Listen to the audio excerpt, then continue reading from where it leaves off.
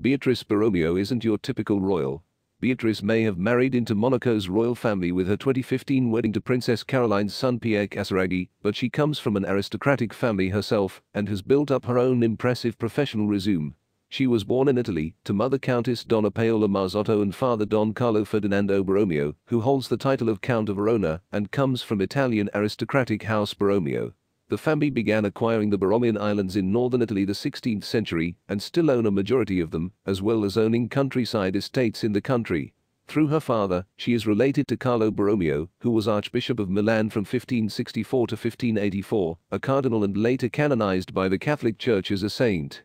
Beatrice has an older brother, Carlo Ludovico Borromeo, as well as three older half-sisters from her father's marriage to German model Marion Sybil Zota, Isabella, Lavinia, and Matilde.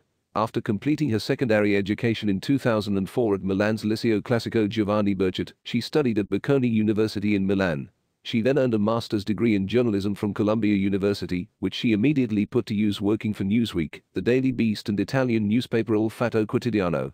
Beatrice also took her journalism skills to the small screen, working for an Italian talk show and the airwaves, hosting a weekly show on the Radio 105 network with everyone from Italian senators to American book authors. She has also directed several documentaries, including English-language Mama Mafia about women in the mafia. Between all of this, Beatrice began modeling when she was 15, strutting down the catwalk for brands such as Chanel, Valentino, and Trussardi and becoming the face of Blumarine. She walked the red carpet with Valentino at the Venice Film Festival in 2006 for a screening of The Devil Wears Prada. Beatrice and Pierre's love story began in 2008, with them tying the knot in summer 2015. They married in a civil ceremony in the gardens of the Prince's Palace of Monaco, followed by a religious ceremony in Italy a few days later. Beatrice wore four different bridal gowns. Two by Valentino for the civil service in Monaco and two by Armani Prive for the religious service in Lake Maggiore. Despite both families' noble status, neither Pierre or Beatrice hold royal titles.